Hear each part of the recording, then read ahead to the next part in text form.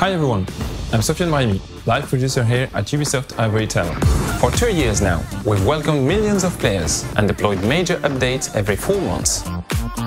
These updates brought a variety of new content to the game, with a particular focus on competition. But we will not stop here. From November 2020, everyone will discover new ways to enjoy our game. A new season system will be introduced. Each of these seasons will last four months and will be split in two different episodes. Our objective here is to continue to deploy new content for all types of players. To achieve this, we will introduce Motorflix, a new TV show company that will hire you for your driving skills. So, without further ado, here is a glimpse of what's coming in November 2020.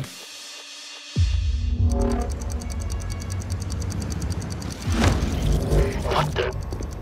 Hey, we have a situation. Someone triggered the alarm.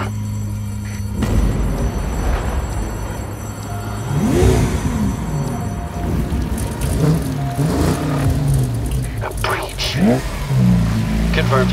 Breach in the main vault. I repeat, breach in the main vault.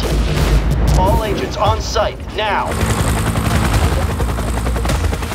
We've got a visual.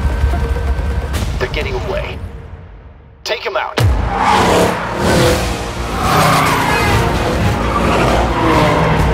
The package cannot leave the city.